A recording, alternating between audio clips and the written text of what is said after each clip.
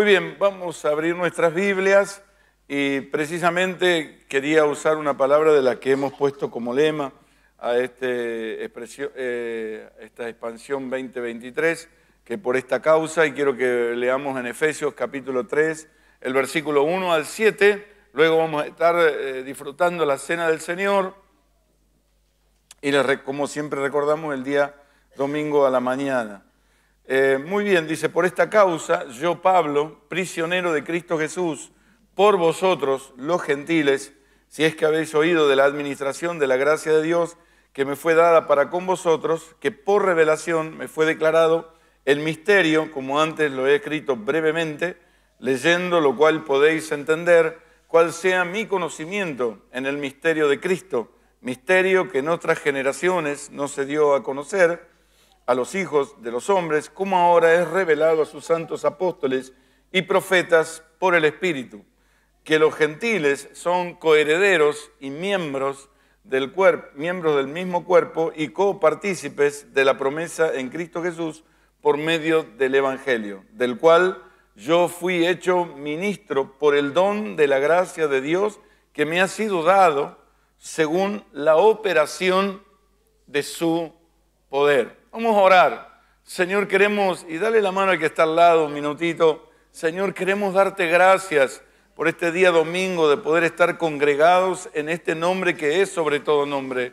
Creemos, Señor, firmemente que no estamos aquí como parte de una asistencia dominguera, sino que entendemos que es parte de tu, de tu proceso en nosotros, que es parte de tu diseño de querer congregarnos como cuerpo, de vernos, de compartir un momento donde podamos orar unos por los otros y también estar atentos a tu voz para que tu verdad, Señor, siga siendo amplificada, siga siendo dimensionada, siga siendo expandida por medio de la iglesia en todo lugar. Creemos, Señor, como iglesia, que tenemos una responsabilidad para estos tiempos de llevar, de extender, de manifestar y de propagar esta realidad. No solamente que vivimos en nuestro interior, sino que se expresa y se manifiesta en todo lo que nosotros tocamos y en todo lo que nosotros de alguna manera participamos. Así que te damos gracias en esta tarde, nos animamos, nos fortalecemos unos a otros, nos animamos, nos estimulamos a la fe, al amor y a las buenas obras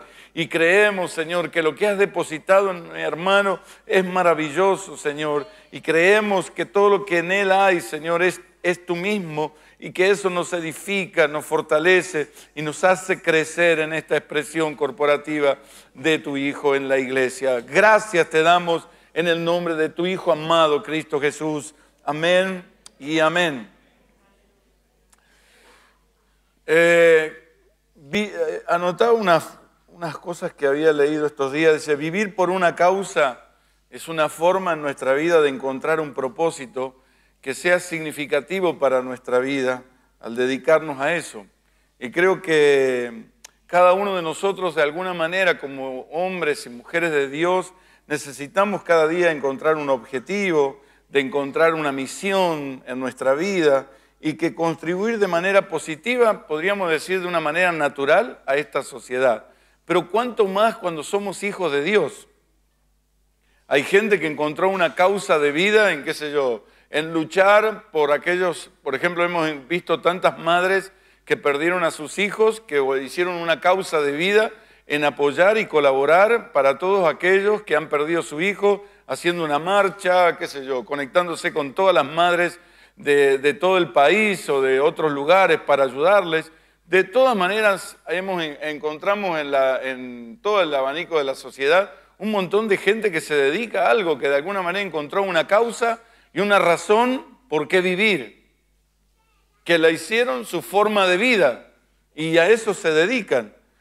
Por eso muchas veces encontramos en el mundo diferentes causas por qué vivir. A veces creemos que nosotros los cristianos somos los únicos, pero encontramos con un montón de gente que hace un montón de cosas por el bienestar de otros y lo encontraron como una razón de vida. Cuando yo viajé ahora a África, me viajé con un, un argentino que hace 14 años que está en el Congo, que un día se cansó de Argentina y se fue, como él es militar, se fue a trabajar a los cascos azules. Allí hubo una vacante y él se anotó y fue y pensaban que no iba a quedar y hoy es el jefe de la administración de los cascos azules y hizo la razón de su vida, dejó su esposa, dejó sus hijos, dejó todo y vive allá y me dice, cada misión que hacemos, no sé si vuelvo porque hay, eh, hay en, en, el Congo, hay guerra civil, así que te podés encontrar con una, una, banda y que ahí te matan, ni te preguntan, ni nada, y más si sos, si sos de la ONU, perdón, más todavía, y si sos de cascos azules, con más razón te matan. Ahora están tratando de que cascos azules y la ONU salga de, de allí. Entonces, y a veces nosotros creemos que somos los únicos, aquellos que estamos haciendo gran cosa, pero en la vida Dios ha puesto ese sentir en el, corazón de las personas. Por eso hoy encontramos muchas veces una, una, generación que no tiene una razón para vivir, que le da lo mismo vivir, que le da lo mismo morir. Y yo creo que nosotros hemos encontrado en Cristo Jesús la causa, la razón por qué vivir, por lo menos yo. Amén. Entonces, yo creo que encontrar, una causa de vida en nuestra vida que, nos inspire, que a la cual nos vamos a dedicar, puede ser muy importante y creo que muchas personas alargaron su vida. ¿Cuántas personas encontramos?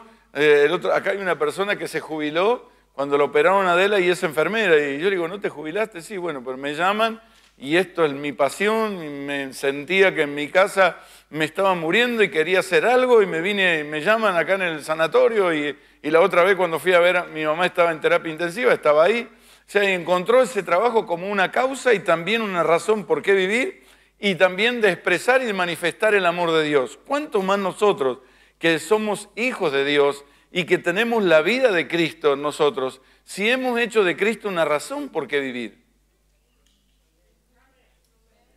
Para Pablo, Pablo acá no está hablando, ni está hablando por Timoteo, ni por Silvano, ni por Tito, ni por nada, está hablando de él. Y dice en primer lugar, por esta causa, yo, Pablo, prisionero de Cristo Jesús, por vosotros, los gentiles. Y acá encontramos tres cosas muy importantes, yo, Cristo y ustedes. Y él está hablando de él.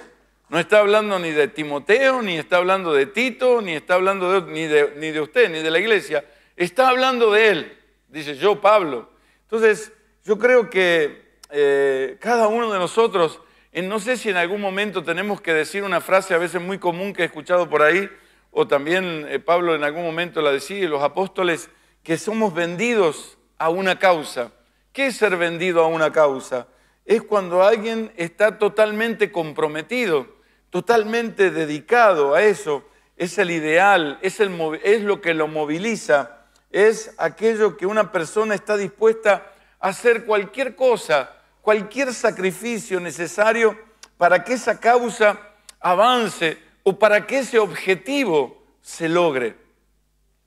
Y yo creo que la iglesia del Señor tiene una gran responsabilidad. Y cuando hablo iglesia no estoy hablando de iglesia como institución, sino como el cuerpo de Cristo, ni como una denominación, sino como los que estamos aquí en esta noche, que somos iglesia y que en este mes estamos teniendo este, este, este encuentro, lo que sea, pero que tiene que ser un disparador en nosotros para, no solamente quiero que sea un tiempo donde podamos tener una palabra que digamos, wow, sino que sea un tiempo donde podamos pesar y saber la responsabilidad que esto conlleva ser un hijo de Dios, participar y ser parte de la iglesia, del cuerpo de Cristo en las naciones, que en las naciones y en el tiempo que nos toca hoy vivir.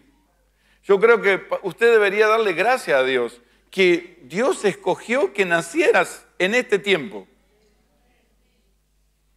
Yo le doy gracias a Dios porque soy parte de una generación que vimos muchas cosas, muchos cambios. Yo vi cuando empezó un nuevo milenio, eh, estuve cuando cayeron este, los, la, la, ¿cómo se llama?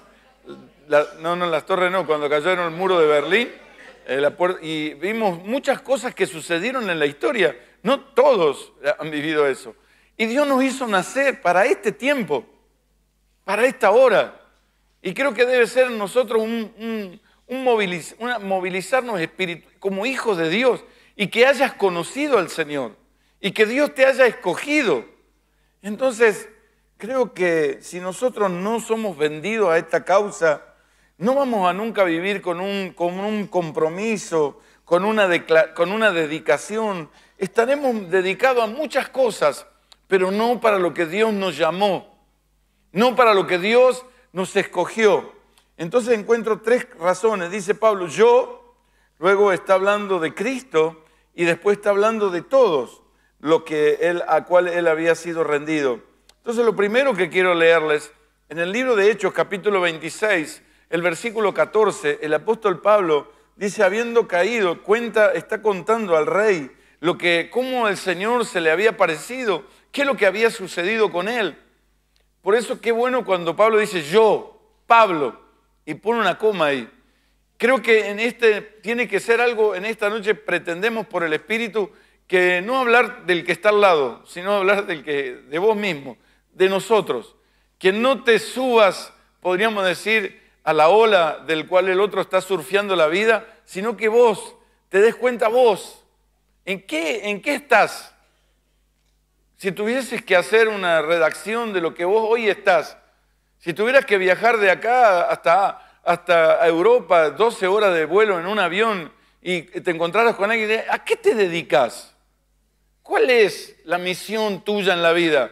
A lo mejor puede ser como este hombre que era de la ONU, pero él en todo momento él me decía que la misión más que era de la ONU y que ganaba bien, eh, más allá de eso sabía que él tenía otro deseo, porque de estar acá y saber que me puedo encontrar con gente que me mata, no, no hay dinero que lo pague, sino que estoy acá para cumplir una misión, aunque me dijo, mira, la verdad que la ONU hace cosas buenas y hace cosas muy malas, las cuales no estoy de acuerdo para nada.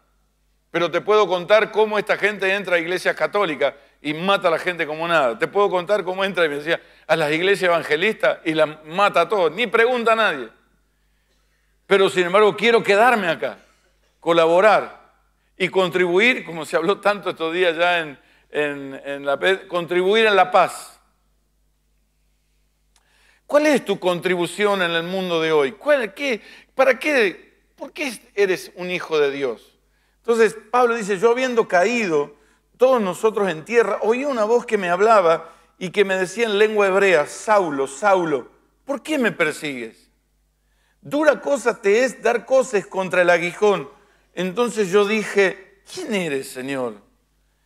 Y él dijo, yo soy Jesús, a quien tú persigues, pero levántate y ponte sobre tus pies, porque para esto he aparecido a ti y esto lo que yo lo, puse con negritas, para ponerte por ministro y testigo de las cosas que has visto y de aquellas cosas, esto me gusta más, que me apareceré a ti y liberándote de tu pueblo y de los gentiles a quienes ahora te envío, para que abra sus ojos, para que se conviertan de las tinieblas a la luz y de la potestad de Satanás a Dios, para, que reciban por la fe que es en mí perdón de pecados y herencia entre los santificados.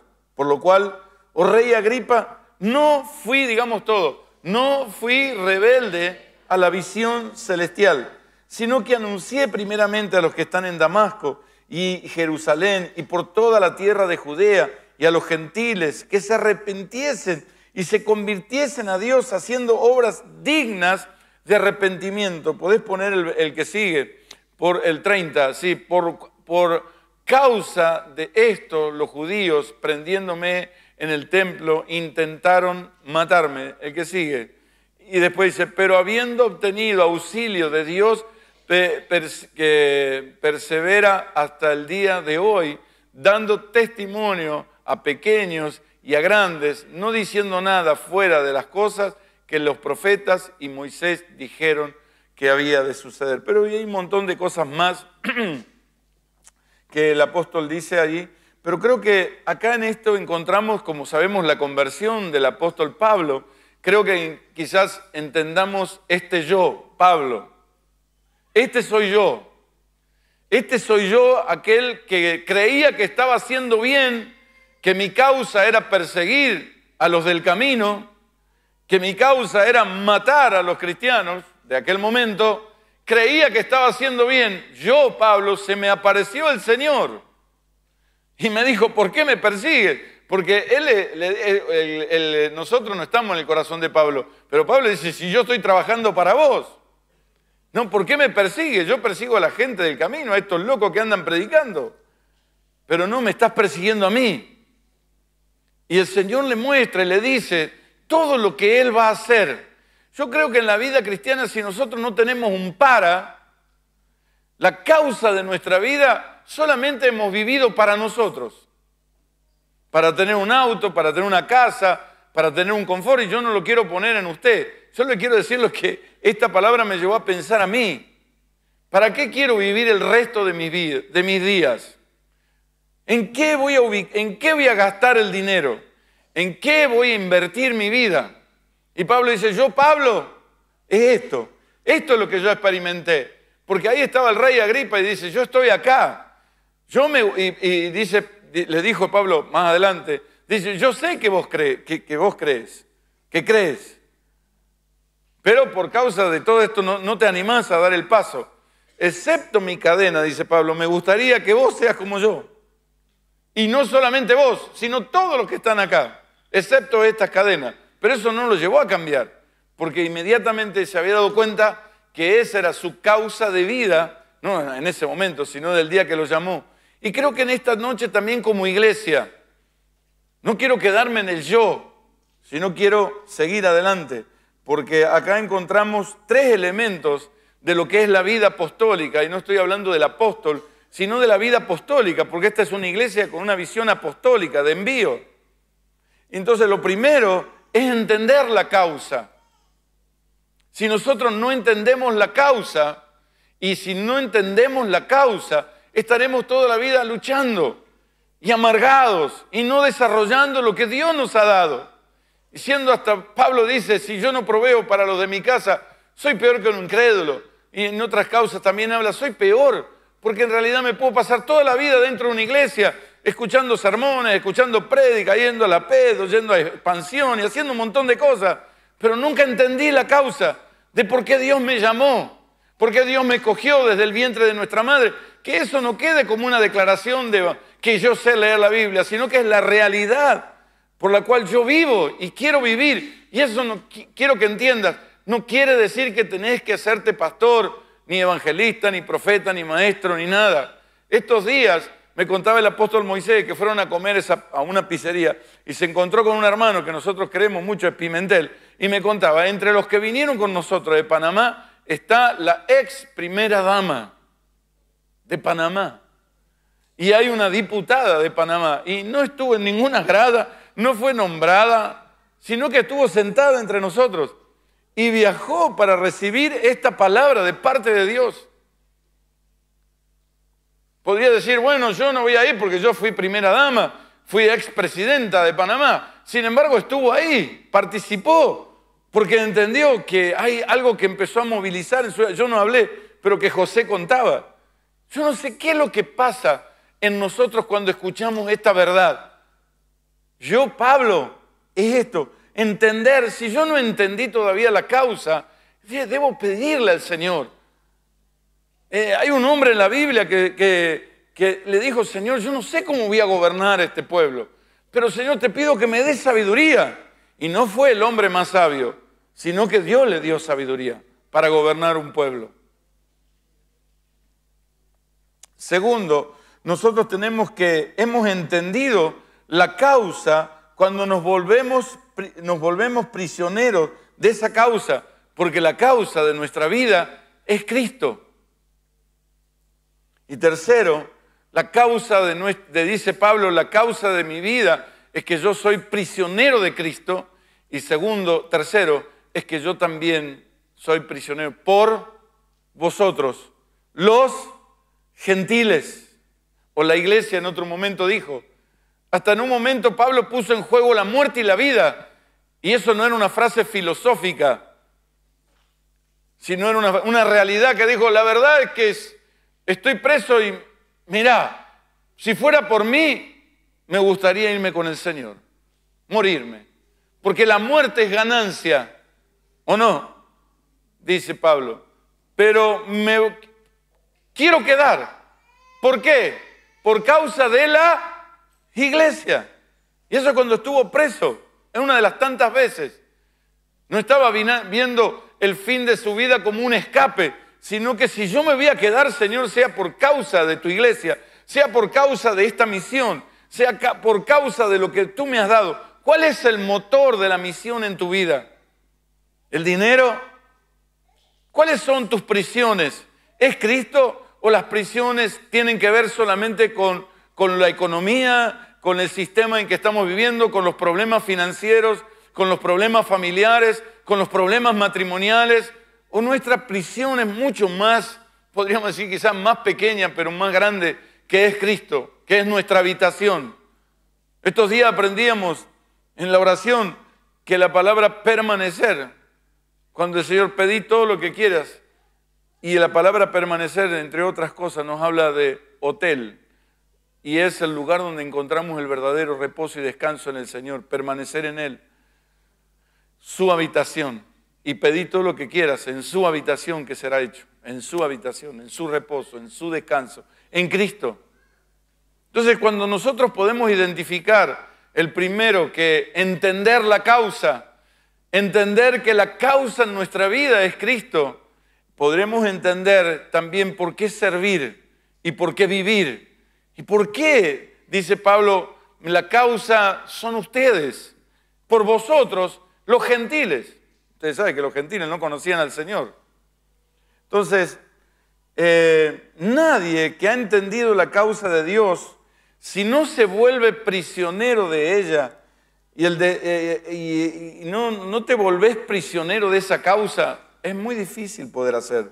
Porque si vos realmente entendés la causa y te volvés prisionero de ella, es muy probable que tu destino sean personas.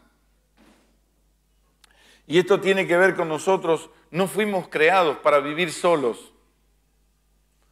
Cuando buscamos la soledad o disfrutamos demasiada soledad, nosotros corremos peligro. No fuimos creados para vivir solo. Por eso me encanta Pablo que dice, yo Pablo, prisionero de Cristo y también por vosotros. Cuando usted entendió, no entendió, solamente piensa en, en el yo, en el yo, en el yo existencial. Primero yo, segundo yo, tercero yo. Y dejé de pensar que mi causa no soy yo, sino que es Cristo es imposible que yo pueda servir a otro, porque todo lo que haga estará siempre no destinado hacia el otro, sino en una satisfacción mía y no en, el, en la voluntad de Dios, en la satisfacción de Dios. No sé si lo puede entender. Nosotros estamos diseñados por Dios y el apóstol Pablo está mostrando el diseño de la causa de sus prisiones. Acá está diciéndonos el diseño, las causas de sus prisiones. Y esta palabra prisionero es realmente una decisión objetiva de Dios para la vida de Pablo, porque no podemos nosotros tomar decisiones, nosotros podemos tomar decisiones en causas personales, pero no podemos tomar decisiones en la causa eterna. Quien toma las decisiones es Dios. Y Pablo no está luchando con Dios acá, como en un momento Job luchó con Dios u otros, o también eh, Jonás. No entendía cuando Dios lo envía a predicar a Nínive, le dice, tiene que irse, para que se mueran todos, eso no quiero ir ahí. Porque nosotros cuando entendemos que la causa no la manejo yo, yo puedo tomar decisiones como crío a mis hijos, como a esto, pero la causa de Cristo, las decisiones no son mías, son de Él. Las causas y los propósitos son de Él. Por eso algunos solamente encontraron, y hablé de causas personales, que bueno, se volvieron muy útiles, pero si eso no se transformó en una causa de Cristo, de por qué vivir, Jesús, hasta los apóstoles llegaron a decir, si le diste un vaso de agua a alguien, a mí me lo diste. Si fuiste a llorar con los que lloran, por mí lo hiciste. Si fuiste a visitar los presos, a mí me visitaste. No es si estás congregado todos los domingos, que lo incluye, si estás en los discipulados y nos quedamos narcotizados por todas las cosas, vamos a decir, herramientas, y dejamos de ver la sustancia y dejamos de ver lo que Dios nos, ha dado. Si solamente somos asistentes del domingo acá y dejamos de ver que la causa no es solamente tengo que ver con mi vida, sino con Cristo y también colaborar con otros? Se vuelve muy aburrido y se vuelve muy tedioso y muy pesado. Entonces, tenemos que saber que no podemos tomar decisiones en la causa. Podés tomar decisiones en tu vida, pero no podés tomar decisiones en la causa porque Dios lo ha determinado así para tu vida. Entonces, quiero nombrar algunas cosas. Nosotros, Pablo identificó el verso 7, dice, del cual yo fui hecho ministro por el don de la gracia de Dios que me ha sido dado según la operación de su poder. Es un pensamiento prisionero por el don de la gracia de Dios según la operación de su poder.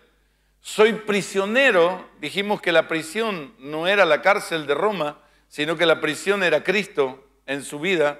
Por eso quizás la cárcel para él no fue tan traumática, aunque le dejó marcas en su cuerpo, ¿no es cierto? Pero no fue traumática en el sentir que quedó en su alma dañado, enojado, rencoroso, amargado, peleado con medio mundo, mandando cartas, tirando palos, tirando indirecta.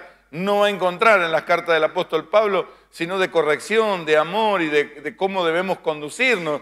No son cartas totalmente, podríamos decir, llenas de, de odio, de rencor, al contrario. Cuando vos, en primer lugar que entendió Pablo en el versículo 7, prisionero por el don de la gracia entendiendo que no estaba ahí por decisión propia, sino que estaba ahí por una causa, que era Cristo, y que a través de eso, de esas prisiones quería glorificar el nombre del Señor.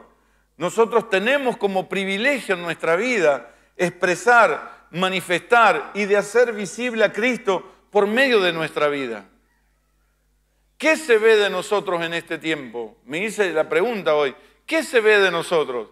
Es muy probable que después del viaje lo que se encuentre, se ve el cansancio. Pero ¿qué se está viendo de la iglesia hoy? ¿Se está viendo lo mismo que, que se ve en la gente? Una vida de mentira, de engaño, de falsedad, de hipocresía, de fornicación, de adulterio, de muerte. ¿O se está viendo a Cristo? ¿O se está viendo el amor y el don? Dice acá Pablo, el don por el cual yo fui hecho ministro por el don. ¿Qué es don? ¿Qué es un don? ¿Qué es? Si decimos acá, sacamos la palabra don y ponemos regalo de qué? El don o el regalo de qué? De la gracia. ¿Y qué es la gracia? La gracia, ¿quién es? Es Cristo mismo. Lo que yo soy, Pablo en otra carta dice, yo no soy, yo soy lo que soy, que lo cantó una mujer también, pero yo soy lo que soy era lo que soy, soy por Cristo.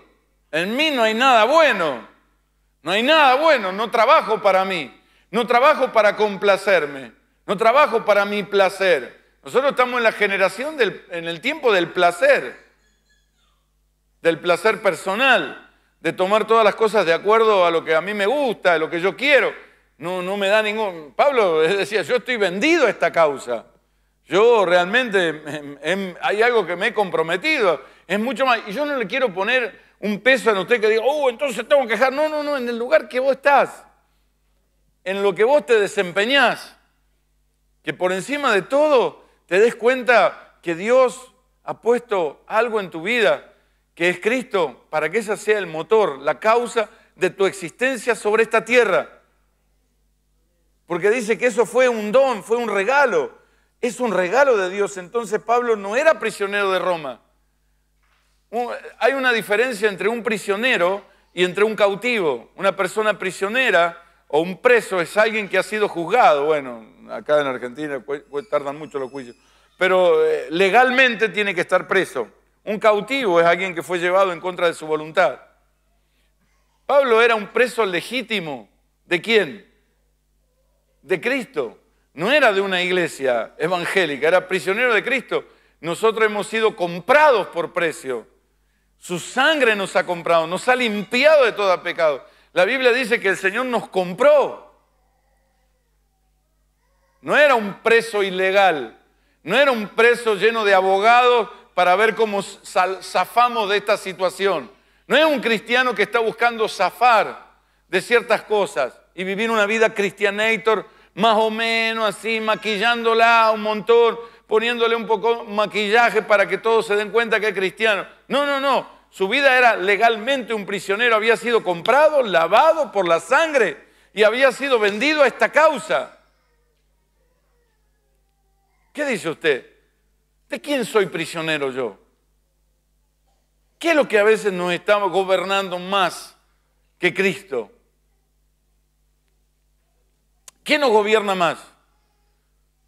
Cuando el Señor puso en, en Génesis 1.28, lo puso al hombre para qué? Para que administrara, para que juzgara, para que señoreara todo lo que él había creado. Pero Dios no quería gobernar el burro, no quería gobernar la jirafa. Dios lo que quería gobernar era el corazón de Adán.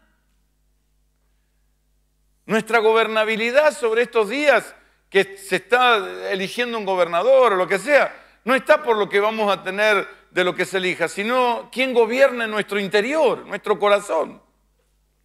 Eso se volverá realmente la expresión visible de lo que me está gobernando. O yo soy prisionero y hablo igual que hablan los del mundo, me porto igual que hablan, mienten, yo miento, fornican, fornican y uso un montón de maquillaje para tratar de parecerme. Pero el Pablo dijo, después de mí van a venir algunos que tendrán la apariencia de, piedad, pero van a engañar, y otros se van a vestir de ovejas, pero son lobos rapaces. Y cuando usted lea a Pablo escribiéndole a Timoteo, agarra el diario de hoy. Habrá hombres amadores de sí mismos, infatuados, intemperantes, aborrecedores de lo bueno, que tendrán la apariencia, el maquillaje de la piedad, pero negarán la eficacia de ellos usan otras cosas y viven de acuerdo a, otras, a otros patrones. Entonces, en realidad, a veces nosotros encontramos, no, es que yo no puedo, que la situación está mala, no, y, entendemos esa realidad, la entendemos. No, no somos negacionistas. Yo cuando me encontré estos días que, con hermanos, que, no somos negacionistas de lo que pasa, pero esta realidad no determina la realidad, lo que Dios ha dispuesto para nosotros. Porque Dios es nuestro proveedor la realidad que nos toca vivir hoy no nos tiene que gobernar, no es la causa de por qué yo no predico, de por qué yo dejé el discipulado, no es la causa porque yo dejé de congregarme, dejé de perdonar, dejé de amar, bueno, ¿qué si todo lo haces? Ya dejo todo, total, si todo. No, no, Pablo dice, yo Pablo, prisionero, o sea, no me convertí, soy romano, ciudadano romano, pero a mí Roma no me gobierna. Yo soy un administrador de las cosas de Dios. Entonces, es importante que el verso 8 dice, a mí que soy el más pequeño de todos los santos, me fue dada esta gracia, otra vez, de anunciar entre los gentiles el Evangelio de las inescrutables riquezas de Cristo. Nosotros tenemos el, privilegio de expresar, de manifestar, de hacer visible a Cristo por medio de nuestra vida. Pero dice acá la palabra prisionero, no dice así, prisionero de anunciar, para anunciar el Evangelio de las inescrutables riquezas. Y estaba más pobre que nunca, en una cárcel, despojado de todo. Porque si había algo que hacía Roma con los presos, los ridiculizaba. Y todos los imperios a sus prisioneros los han ridiculizado en toda la historia de la humanidad. Todos los imperios gobernantes, imperantes, lo que hicieron es derribar, dividir, destruir. Y Pablo, en medio de esto, entender que la causa que es Cristo está diciendo, me ha sido dado, no me puedo salir de esta prisión, no me puedo salir de esto porque Dios me ha escogido para anunciar las inescrutables, insondables y incalculables riquezas que alguna vez sería bueno definirlos cuáles son las riquezas. No nos quedemos tan así, tan, tan amplio. Porque a veces pensamos en riqueza y que voy a estar predicándole a mí, le veo estadio. No, no, no, las riquezas para expresarla en tu diario vivir, en tu trabajo, en tu negocio, en donde quiera que estamos. Somos presos no de una situación.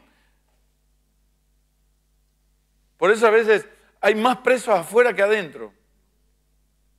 A veces hay más gente con, mayores, eh, con mejores situaciones, eh, vamos a decir, físicas, que algunos que tienen este, cortado un brazo, que le falta una pierna, Y como han visto, ese muchacho que le faltan los dos brazos y las piernas y que camina, eh, y sin embargo eso no ha sido un impedimento para predicar el Evangelio. Pero hoy nosotros encontramos de toda clase de impedimentos. Mi señora, mi hijo, la economía, el trabajo, la familia. Y yo no lo estoy diciendo de acá para afuera, también nos, nos pasa a nosotros. Por eso en nuestra vida también debe haber un yo, un yo Gabriel o un yo, como te llames, Graciela o como sea. Yo también tengo que definir cosas en mi vida, porque si no el mundo me estará definiendo toda la vida. Entonces yo, a mí, otra vez usa esta palabra, a mí que soy el más pequeño de los santos y se pone no en una situación de baja estima, sino al contrario, reconociendo que ni siquiera estuvo con los apóstoles del Cordero, que fue escogido como un abortivo, uno que estaba afuera. Sin embargo, entendió la causa por el cual, por cual vivir. Entonces, me ha dado la gracia, o sea, acá encontramos, dice, la gracia de anunciar. Yo encontré la, la prisión de anunciar. Pablo por todos lados oraba, dice, oren por mí, hermanos, a fin de que al abrir mi boca, hable lo que tengo que hablar. Jeremías decía, quise dejar de hablar, quise dejar de profetizar, quise dejar, pero había algo que me obligaba adentro, o que me obliga, y eso lo llevaba a ir a parar a, a un pozo, ser despreciado, ser odiado. Para Pablo, escribiendo a los, a los Corintios, dice, yo tengo un amor, el amor de Dios me constriñe. No es un amor que me acaricia, me dice, pobrecito, quédate en la cama más, es un amor que me obliga es un amor que me lleva, es un amor que me lleva a anunciar. Pablo le escribe a Timoteo le dice, predica a tiempo y fuera de tiempo, porque Pablo se estaba yendo, se estaba despidiendo, sabía que le quedaba poco tiempo. Él estaba en Roma, prisionero, predicando en una casa alquilada, pero él le manda esta carta a Timoteo, que cuando Timoteo la leyó ya estaba, ya se había muerto, pero está diciendo, predica todo tiempo, ¿cuándo? Siempre, predica siempre, a tiempo y fuera de tiempo. No deje espacio vacío. Hoy, hermanos, tengo que decirle que nos da lo mismo predicar o no predicar. Y no predicar desde un púlpito, ni tampoco, a lo mejor alguno no va a predicar en un púlpito, pero va a predicar como Adela contó de, de, Nadia, desde un lecho de muerte. Quizás hoy no la entendieron, pero sé que la palabra no vuelve vacía. Y veremos a su tiempo. Y hemos visto personas que nunca tuvieron un púlpito para predicar pero igual hicieron de, su, de Cristo una causa de vida y ni bien tuvieron una oportunidad, pudieron transmitir esta realidad. Hasta algunos ni usaron palabras, ni palabras usaron, solo tuvieron gestos o expresiones de amor, porque la gracia se expresa y se manifiesta de diferentes maneras. Lo feo es cuando nosotros queremos hacerla que sea como yo quiero. Fíjese que en el versículo 9, y de aclarar a todos los cuales, a lo cual, perdón, a todos, cual sea la dispensación del misterio escondido desde los siglos en Dios, que creó todas las cosas, para que la multiforme sabiduría de Dios sea dada a conocer por medio de la iglesia a los principados y potestades en los lugares celestiales, conforme al propósito eterno que hizo en Cristo Jesús nuestro Señor y me encantó esta, usted va a encontrar esta, palabra, esta preposición o como sea, para, para, para, para, para. No es parar, para. Entonces creo que nosotros tiene que ser un movilizador en nuestra vida en estos días. Y no porque hagamos expansión, sino que en realidad cuántas cosas Dios nos ha dado y ha quedado muchas veces en la información en nosotros. Tenemos la información, pero no la hemos distribuido. Y quizás eso el día de mañana el Señor te va a pedir cuenta de lo que, de lo que guardaste. Para, dice, que la multiforme, diga la multiforme sabiduría de Dios. O sea, Dios le ha dado a la iglesia la capacidad para expresarlo en este mundo. Cuando Dios te llama, Dios también te da la capacidad de expresarlo a Él.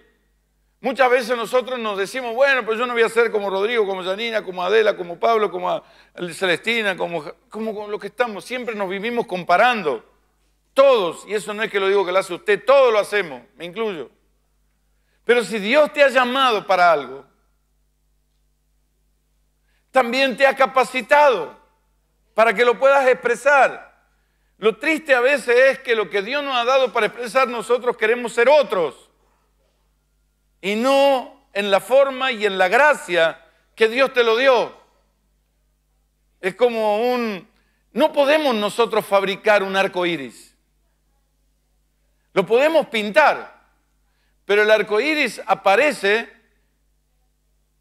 cuando los rayos solares, entre los rayos solares y el agua, dan ese color. Y es algo único. Y tiene diversidad de colores.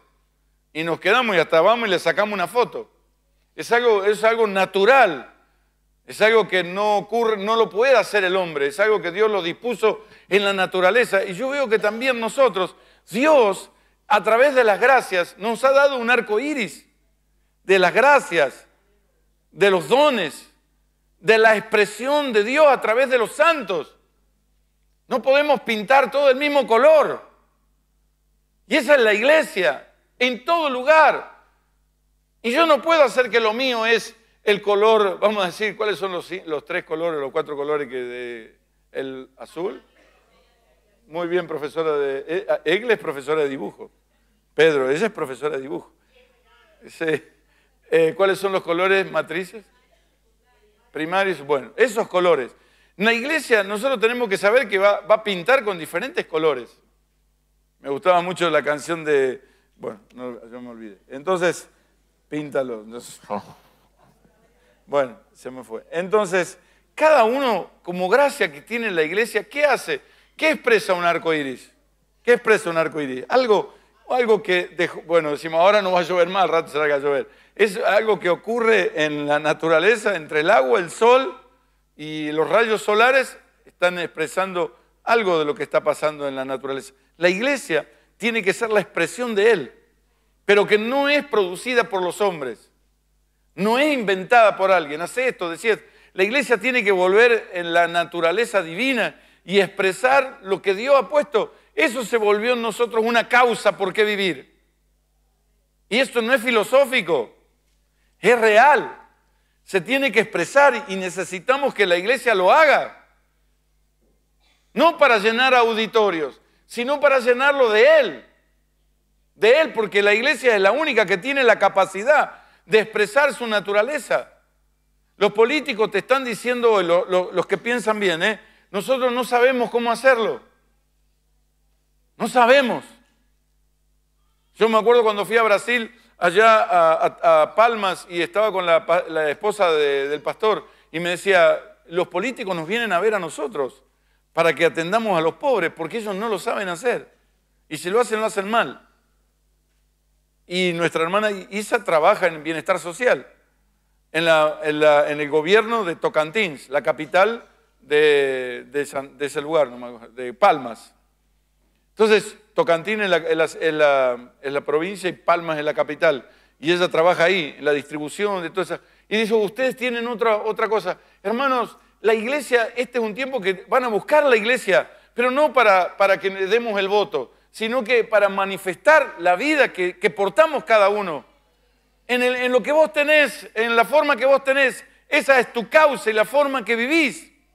En Cristo Jesús, por supuesto, dentro de una prisión legal, que es estar en Cristo, porque hay otras prisiones que no son legales. ¿No es cierto? Aunque yo puedo decir que soy cristiano, pero vivo en pecado, vivo como yo quiero, tengo una decisión yo sobre todas las cosas, no es la causa de Cristo que se volvió objetiva en mi vida y eso es lo que yo hago, no hago lo que yo quiero. Porque si fuera por nosotros, Pablo nunca hubiera estado preso.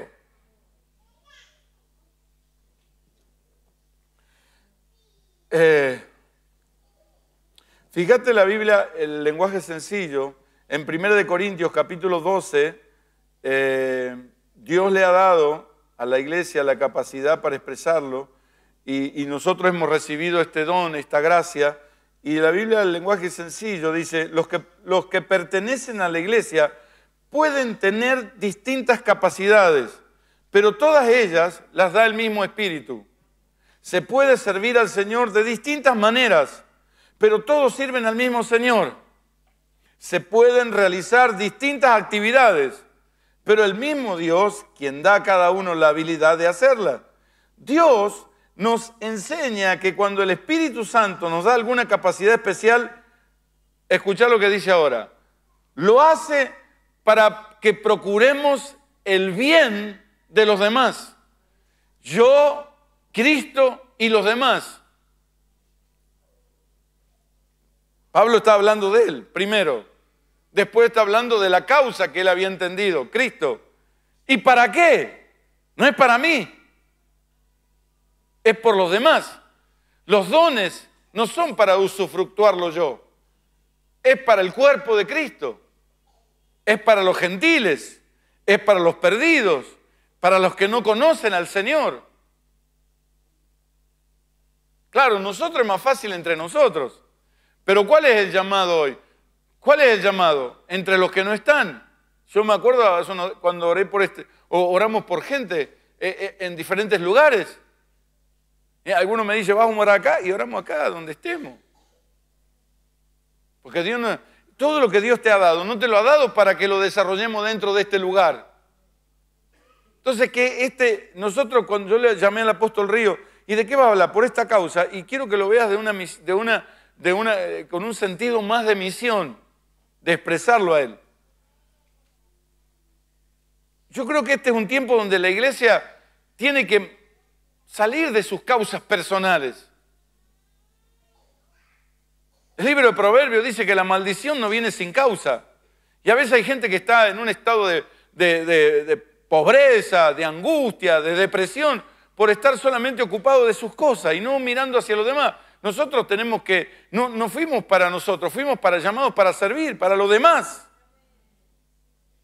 Y a lo mejor gastamos horas y horas tratando de solucionar cosas y cuando nos dispusimos a bendecir a los demás, a dar de la capacidad que Dios nos dio, de los dones que Dios nos ha dado, porque todo pertenece a Él, nada es nuestro. Yo no puedo hacer lo que yo quiero.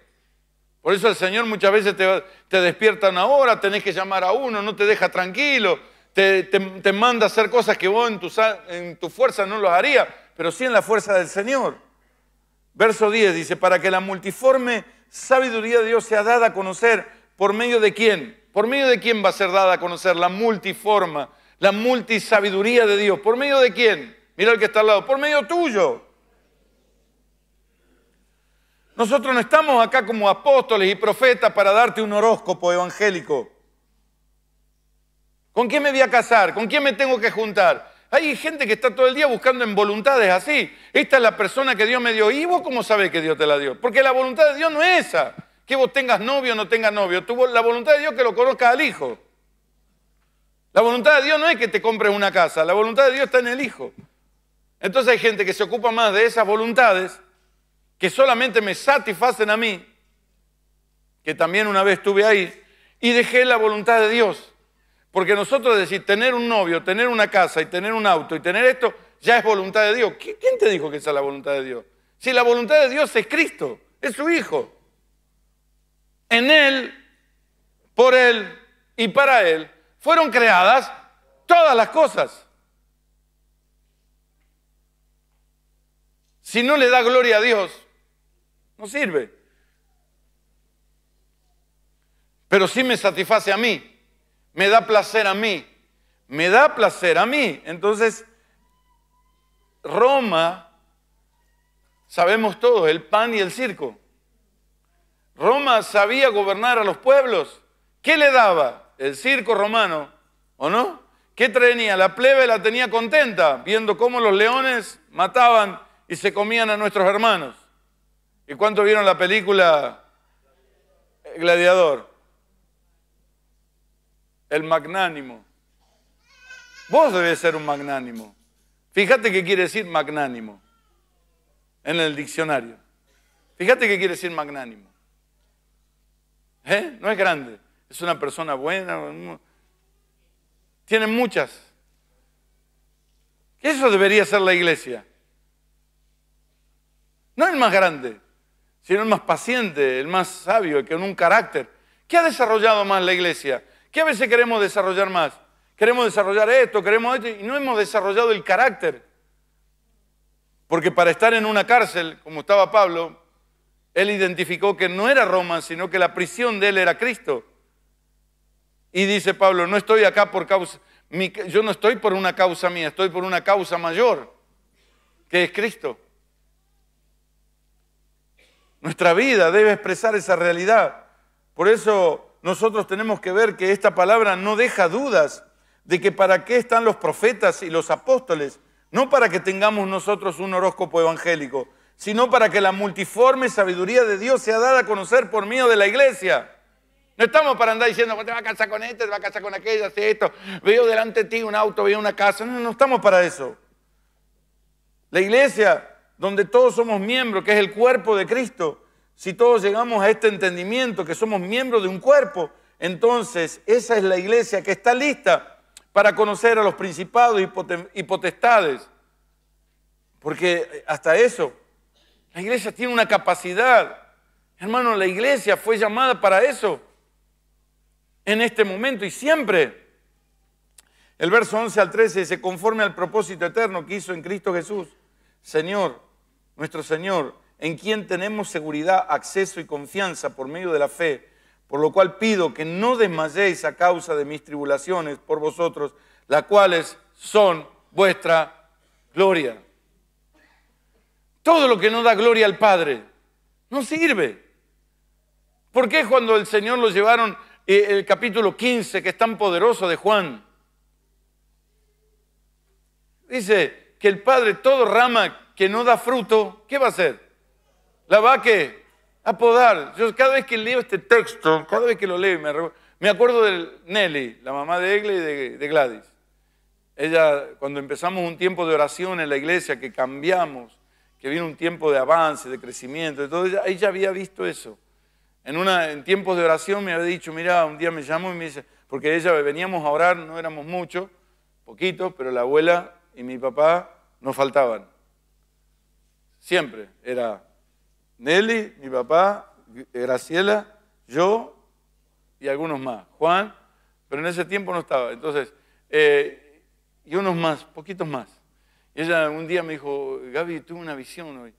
Veía cómo el Señor estaba podando a la iglesia del Señor y tomó este pasaje de, Juan.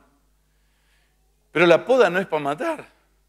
La poda es para que se, sea más glorificado el Señor, para que el fruto sea más visible, para que el fruto sea más limpio, para que sea mejor, para que se vea mejor. Y muchas veces Dios nos mete en esos procesos. Porque ¿en qué es glorificado mi Padre? En que ve mucho fruto. No el fruto que yo quiero. El fruto es la misma sustancia, la misma expresión de la semilla, de la vid. Jesús dijo, yo soy la vid, verdadera, verdadera, aclara, verdadera. Están, hay otras vides, pero ustedes son los pámpanos y mi padre es el labrador. ¿Para quién es el fruto? Para el padre, no para mí, es para el padre.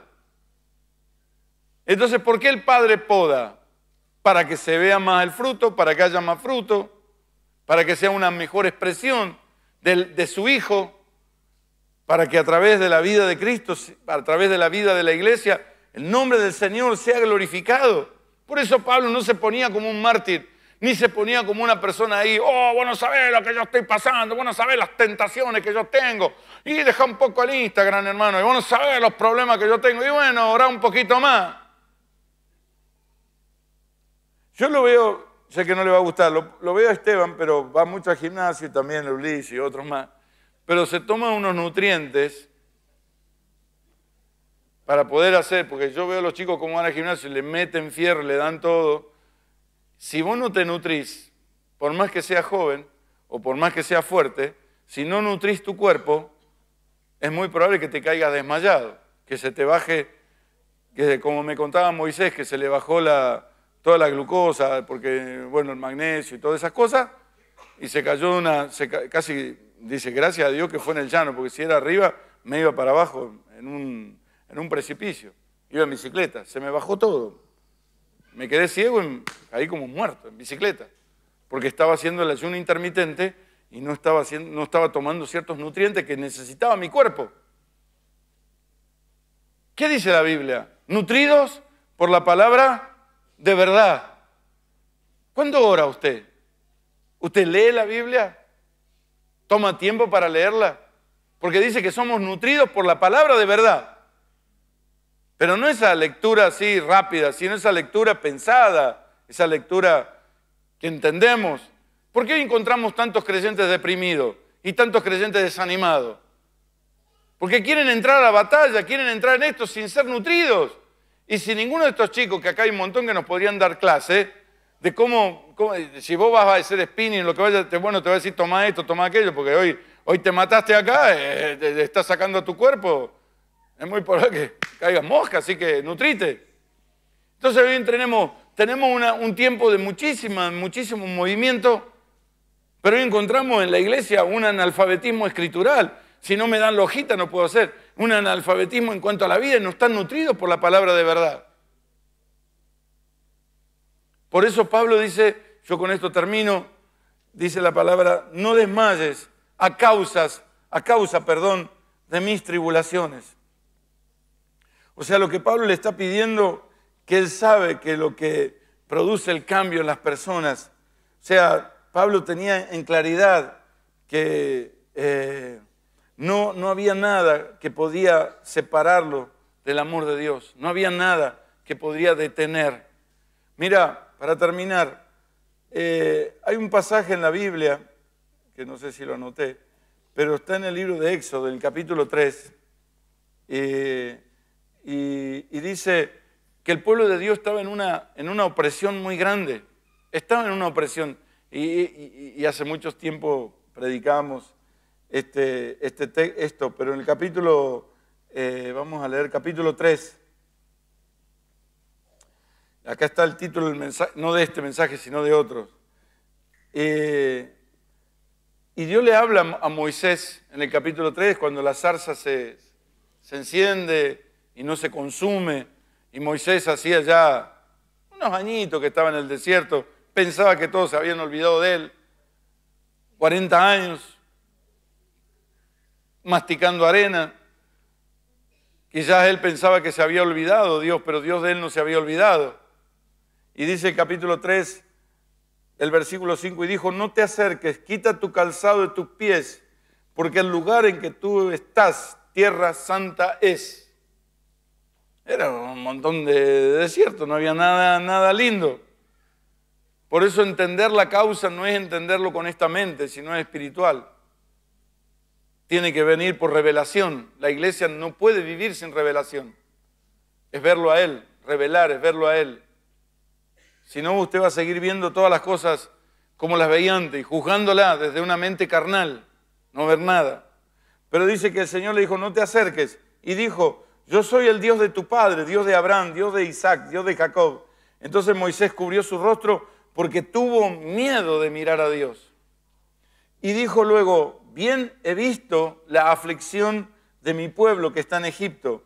Y se llamaba este mensaje, bien he visto y he oído su clamor a causa de sus exactores, pues he conocido, he visto, he conocido y he descendido para liberarlos de mano de los egipcios y sacarlos de aquella tierra a una tierra buena y ancha, tierra que fluye leche y miel, a los lugares del cananeo, del eteo, del amorreo, del fereceo, del ebeo, del jebuseo, su egreseo, el clamor, pues, de los hijos de Israel ha venido delante de mí y también he visto la opresión con que los egipcios lo oprimen. Y ahora le dice, ven por tanto ahora y te enviaré. He oído, bueno, me olvidé todo, pero he visto, he oído, he escuchado esto y ahora te voy a enviar. Esto es del antiguo pacto, sí, sí, no, no ponga ahí. Pero también nos puede servir hoy. Nosotros hemos hecho de nuestra vida una causa solamente de nuestros problemas. Oro mis problemas, oro mis angustias, oro mis necesidades, oro que me falta plata, oro que gane mi ley, oro que gane de masa, oro que gane, qué sé yo, oro, oro que gane la burri, oro, oro que gane, que gane eh, Camuso, oro que gane el otro y que gane... Todo tiene que ver con nosotros. Y no está mal. Pero esa a veces nuestra causa.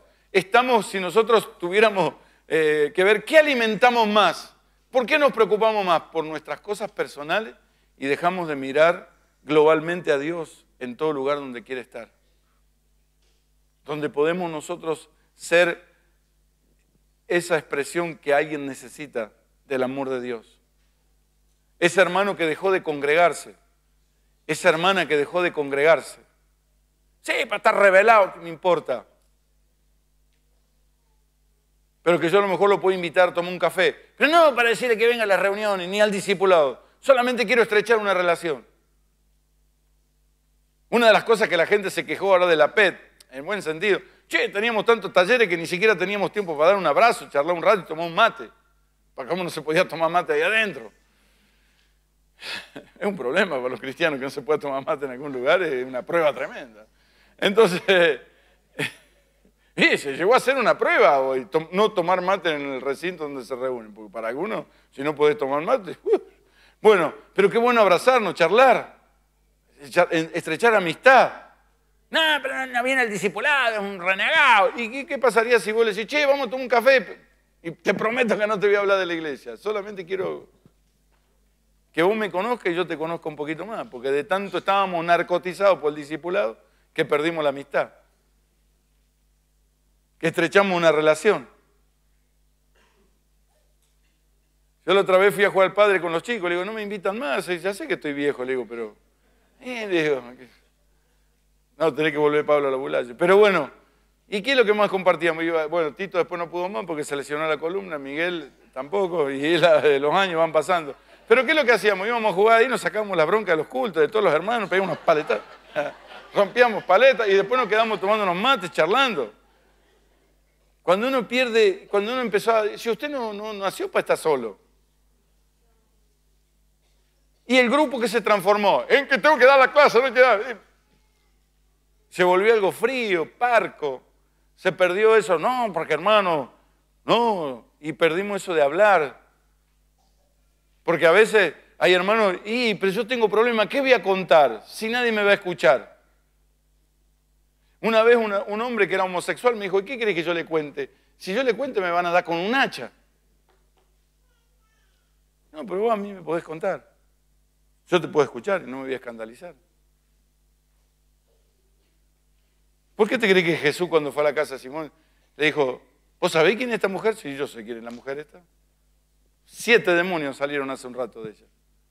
Y no deja de besarme en mis pies. Y entré acá, ni me besaste, ni me diste agua para lavar los pies, ni me ungiste con aceite. Solo formalismo, solamente apariencia de piedad. Maquillaste la relación pero vos estás vacío por dentro. ¿Por qué Jesús le dijo a Nicodemo baja del árbol?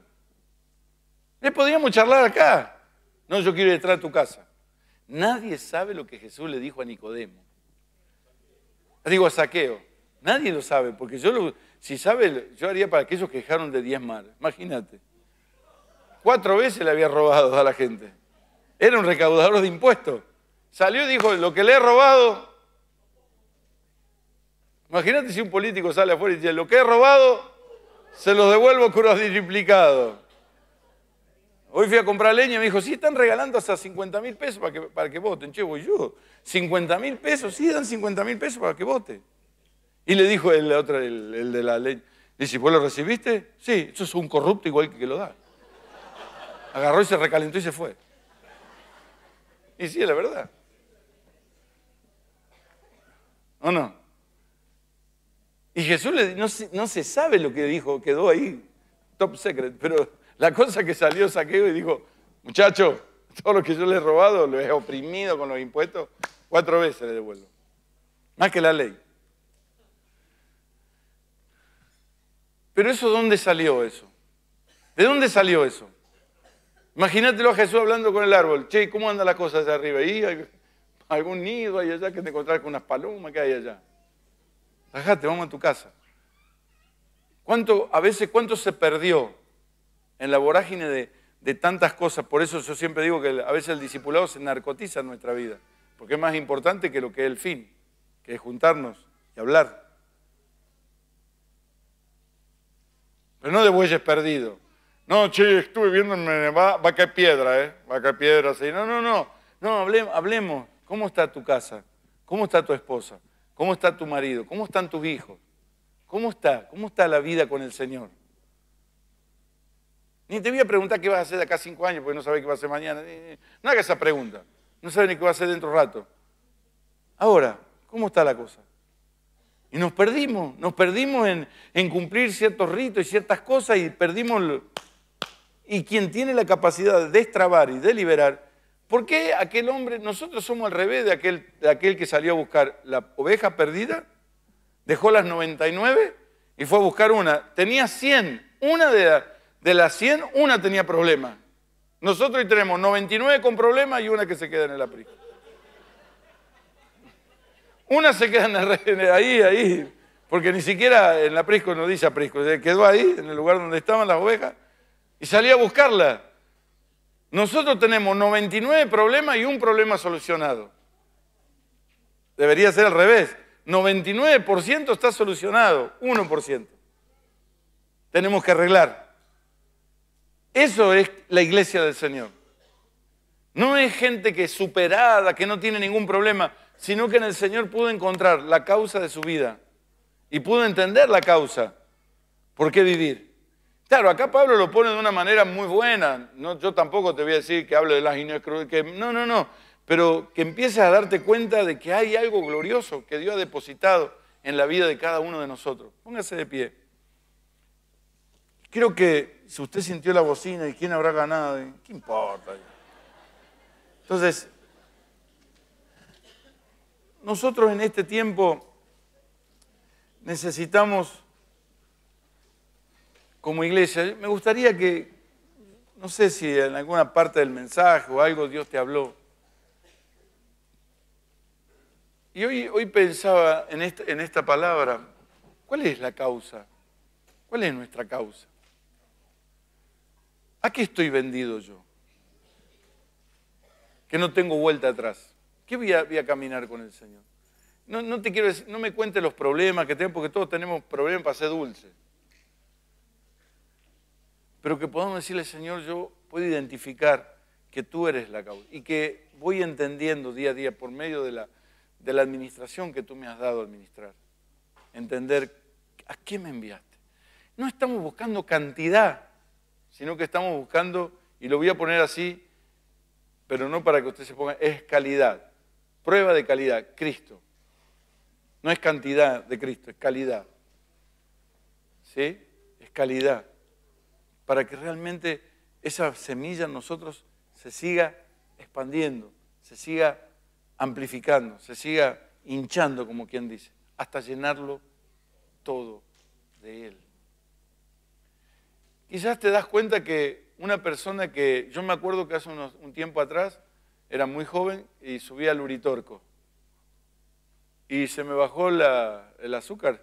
Es cuando te quedas ciego. ¿No es cierto? Me quedé ciego. Y le decía a una hermana, yo iba caminando con una hermana que era gordita. Y esto, Rodrigo y los otros se fueron arriba. Y yo los quise alcanzar, pero me bajó el azúcar y me, me quedé blanco como la silla esa y se me bajó y empecé a transpirar como loco. Y había una, una chica que dice, oh, se le va, ¿cómo hace un caramelo? ¿Cómo hace un...? No, tráeme un pastillero completo, le digo, porque me parece que... Bueno, ahí me levanté, me di cuenta, no estoy para estos trotes yo todavía. Me pasó lo mismo una vez en Noruega, que salí en bicicleta, andar así, no es lo mismo que andar en llano, andaba así, y llegué a la casa y me bajó la... Todo, me quedé así como...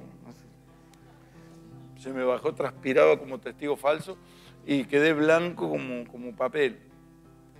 Este, a veces la iglesia está igual. Se quiere meter en batallas poderosas, pero no está nutrido por la palabra de verdad. No está fortalecido en la gracia.